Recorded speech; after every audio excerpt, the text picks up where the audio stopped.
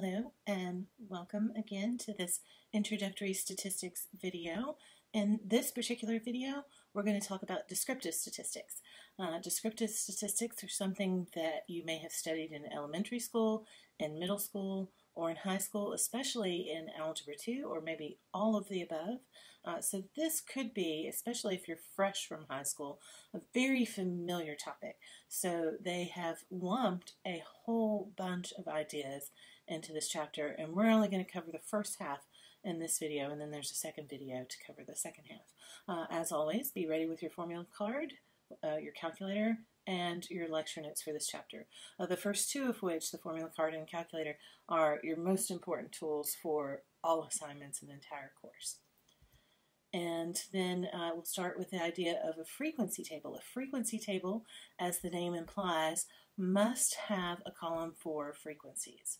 So if it were a relative frequency table, I guess it wouldn't necessarily have to have the frequency column, although most of the time it would to compute the relative frequencies. Um, but uh, if it's called a frequency table, an absolute must is a column for frequencies. And then the second thing uh, that a frequency table always has to have is a column for the data values. Now, sometimes the data values are single data values like we see here, and sometimes there'll be a range of data values like 0 to 2 um, and then 3 to 5. Uh, the width, the width, if, if it is a range of data values, the width has to be the same throughout. Uh, so that's what a frequency table is. And then pie charts uh, are used for categorical data. So you'll notice um, that we have clothing and footwear and accessories and fragrances and novelty items. These are non-numerical values that make up our pie slices, and that's as it should be. Uh, Minitab will allow you, the software that we'll be using for the course will allow you to use something other than, it'll allow you to use numbers, um, not just categorical uh, variables, non-numerical va variables. Um, but it's really better to do pie charts when you have categorical variables uh, because there are other tools that we can use for numerical that are better than pie charts. And then each slice of the pie, you'll notice um, that 24% is about 25%, and 25% would be exactly one fourth. So 24% is almost exactly one fourth. Um, a third would be 33%, and this is just more than a third. Uh, so the, the size of the slice depends on the percentage that's represented. Uh, there are better charts even for categorical data, though, than the pie chart. Um, the pie chart is usually considered one of the worst statistical, but it's one of the most commonly used in uh, especially newspapers. I guess they like the aesthetic look of the pie chart. Um, but bar graphs usually are better because you can more easily compare um, and easily see that the 6 and the 5 and the 4 are different heights. Even if they didn't happen to have 6, 5, and 4 labeled for you, you could easily compare the heights on a bar graph. Um, notice how the bars don't touch, and that's appropriate. Bars should not touch if they are for categorical data because there is no continuity between uh, here we have the, the ways that animals protect themselves.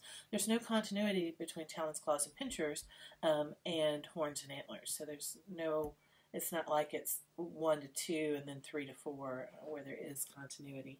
Um, so bar graphs in many ways do what all graphs and charts do, and they summarize the variable that's given. I think they do a really good job for categorical variables, certainly the preferred graph for categorical variables. Um, they have bars, as the name implies, for each category, and the heights of the bars represents how many, the frequency of the particular categorical um, category that you have there. Uh, and if we were to order from most to least, so we would start with 11, and then we would go 6, 5, 4, and then 2, and the two ones would be last. Um, so if we were start to start with the most and put it at the left and then go to the least, that's what we call a Pareto chart. So this is not a Pareto chart, uh, but you can certainly do them. And they even have a greater emphasis on comparing the different bars because you can easily see which one's the most and how different it is from the second most and the third most and so on. And then dot plots, you would take uh, your data values and you would make a single dot usually for every data value. Here, um, this says the dots represent one or two observations, up to two observations. So um, I imagine that if it's just a single data value, it might represent one.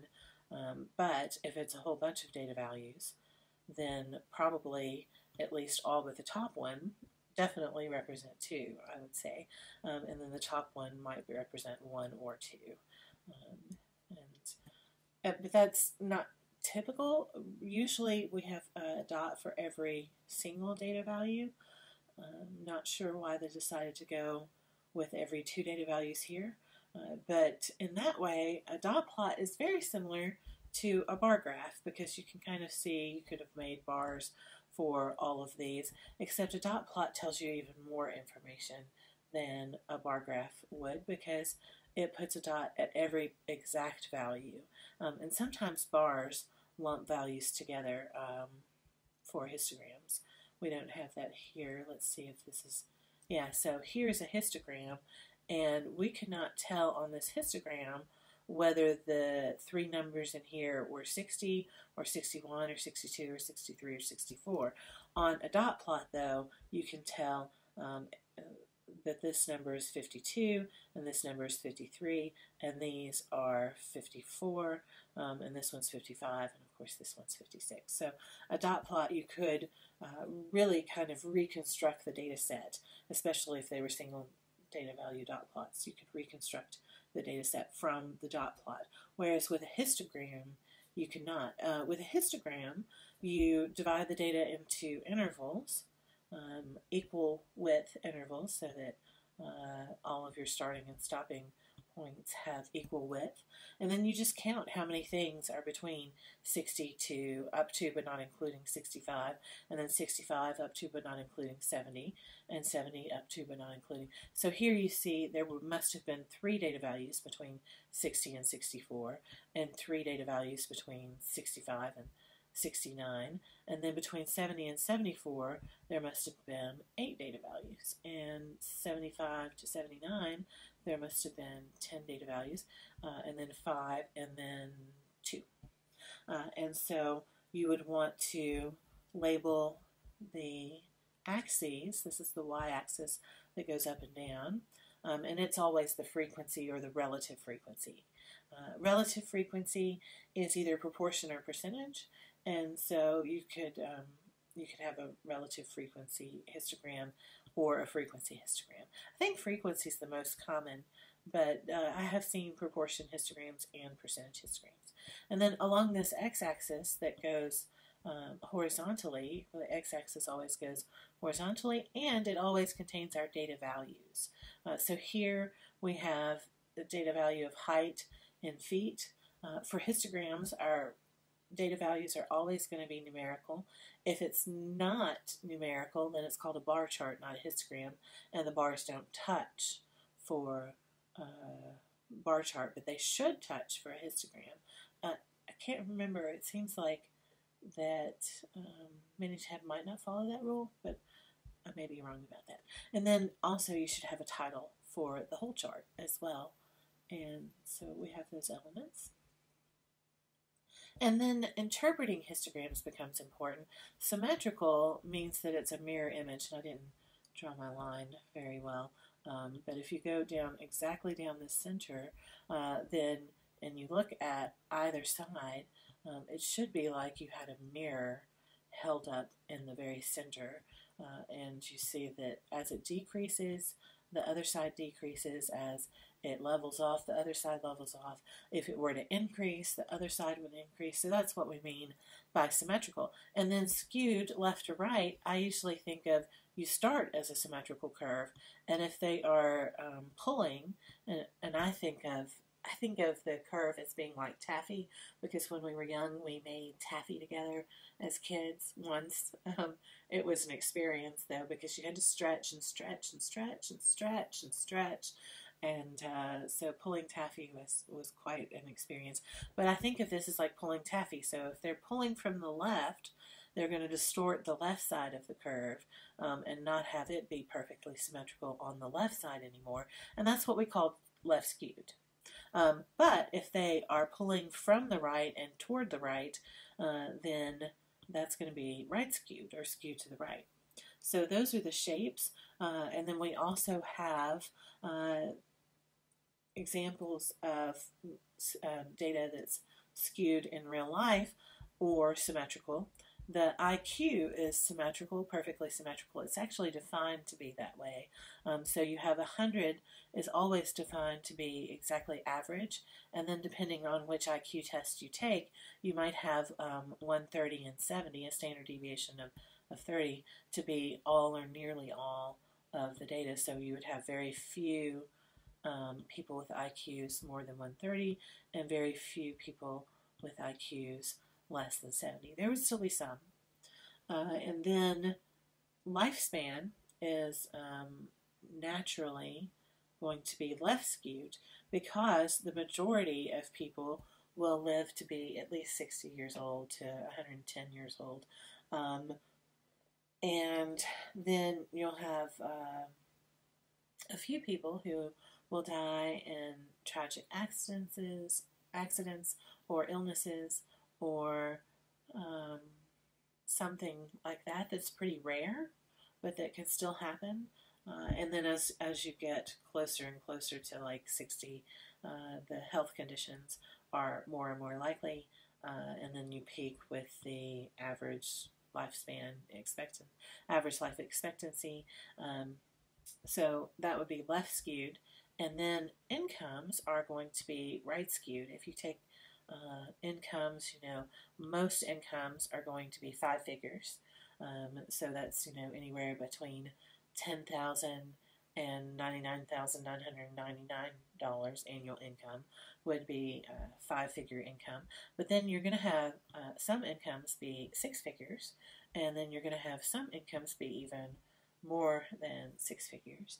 Uh, so that's going to be a right skewed distribution. And then also when we talk about shape, we can talk about uh, particularly unimodal and bimodal. Unimodal means there's one significant mound of data.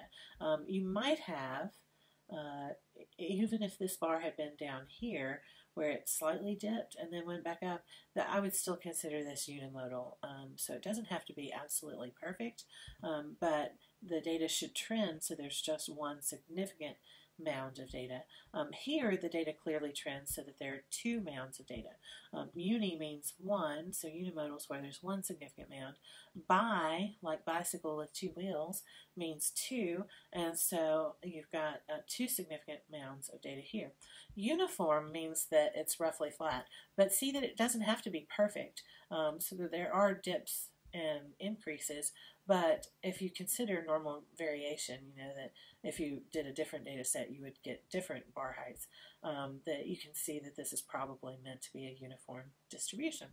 And then here, there are several distinctive um, peaks uh, that you can see, and there's just so much data in this one, you can see it's definitely more than this one.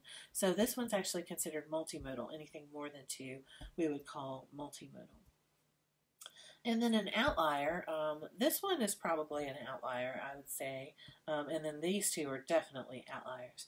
Um, and if this, if if these bar heights were shorter or this one was taller, then I wouldn't say this one was an outlier. But we've got, um, let's see, 220 data values in this one, 200 data values in this one, uh, and maybe not very many in this one, but 10, 10 or 12, so um, 40 plus here, uh, and maybe five or six here. But this one, it just looks like one single data value compared to all these hundreds right here. Um, and again, this one looks like one single data value here and one single data value here. So I would say we have three outliers in this data set.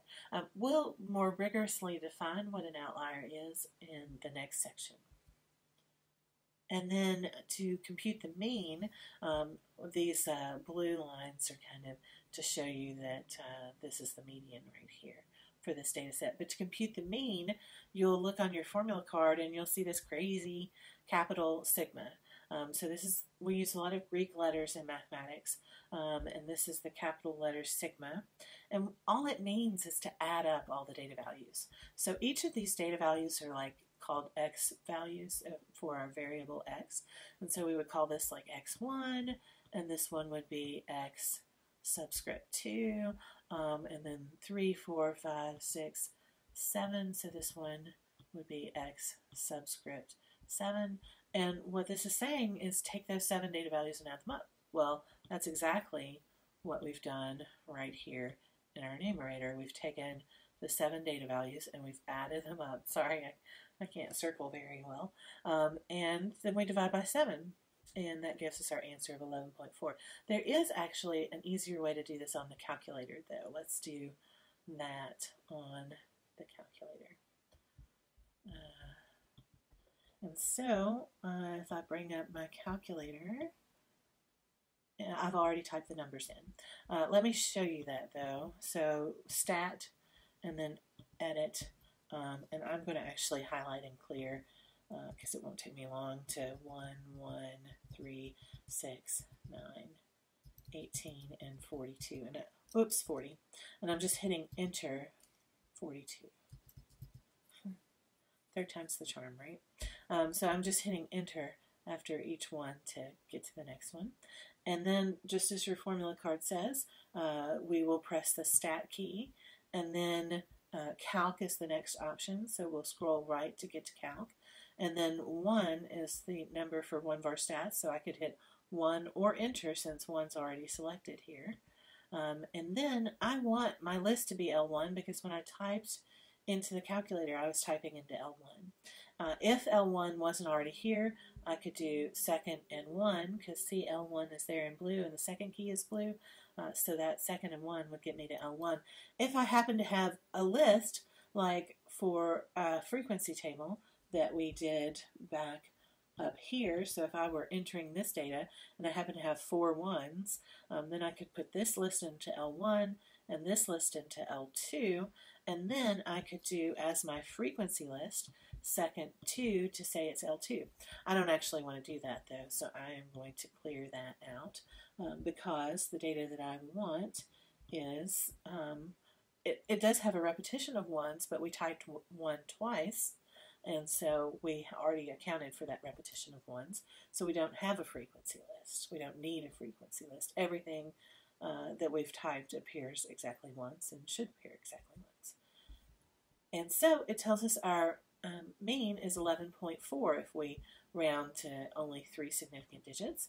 And that's exactly what we um, have here.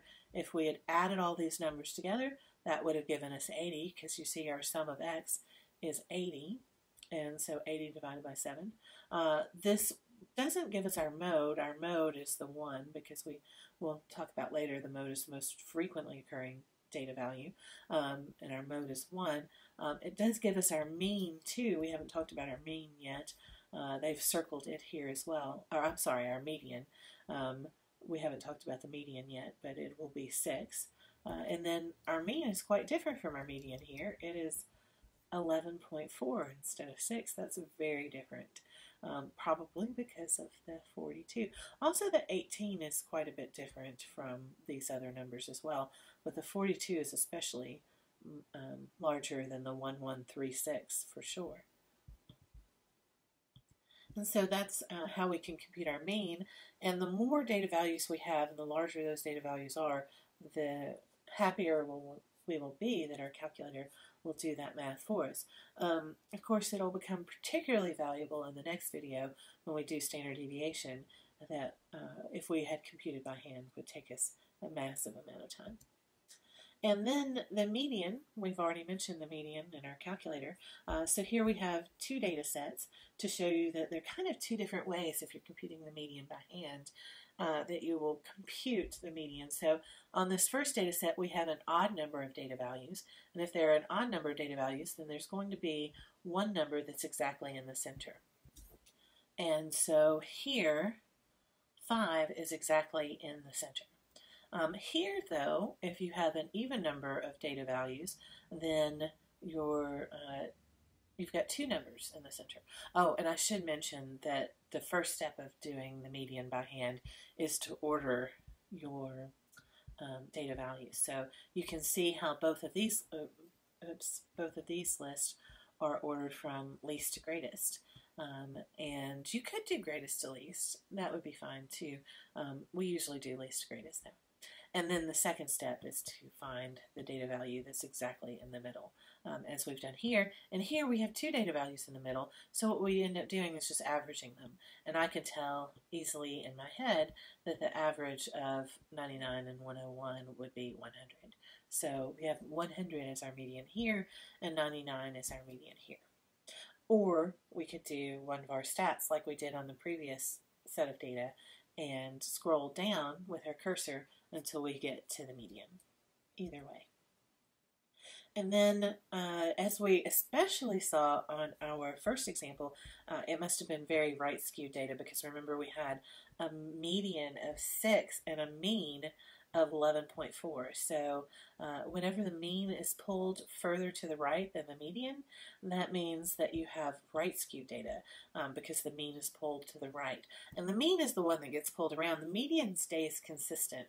Um, if you change, if you add in outliers or you add in data values that will skew your distribution, uh, the median will stay pretty consistent.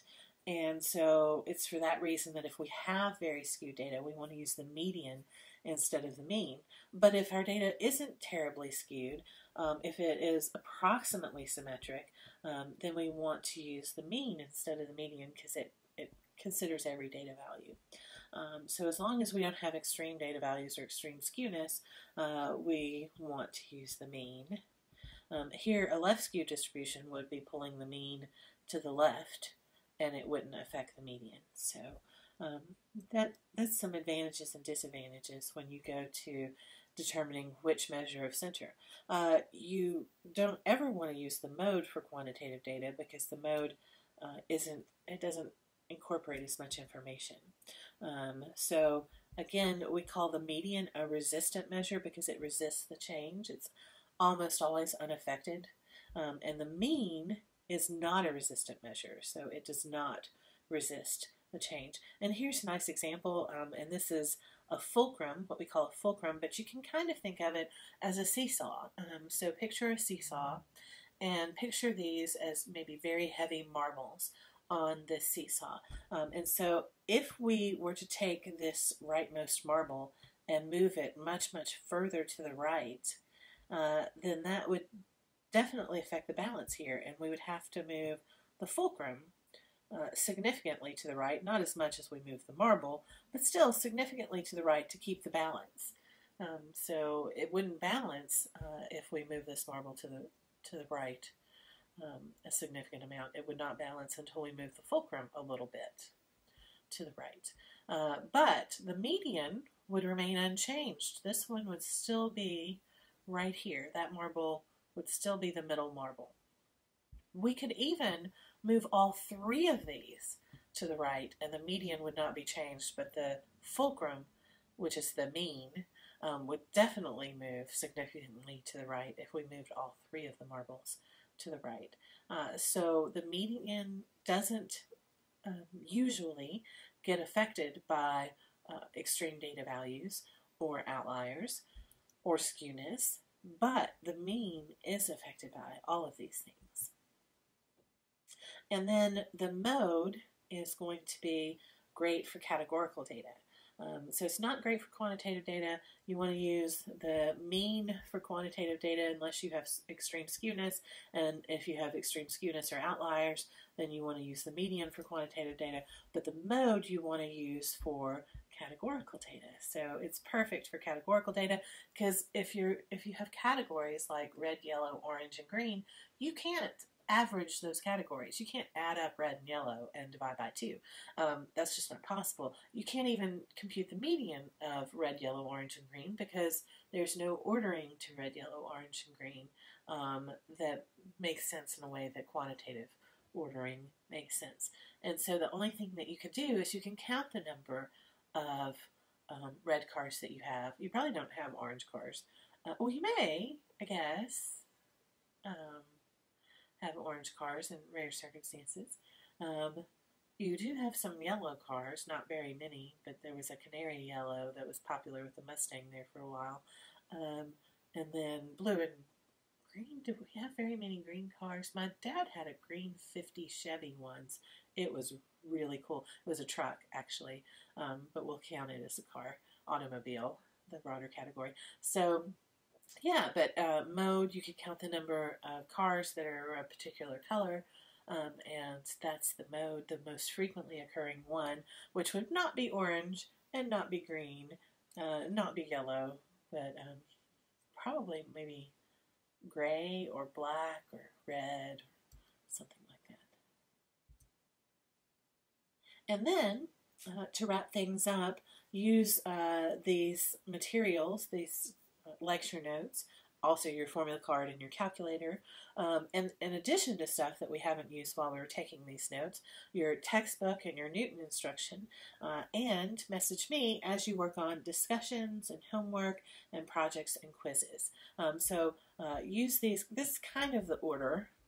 Um, use these first four before you message me. Um, though your textbook will become even more valuable and maybe even moved up to number one for uh, your discussions and your projects. Uh, so use all these things together and this will really help you um, if you're using your tools.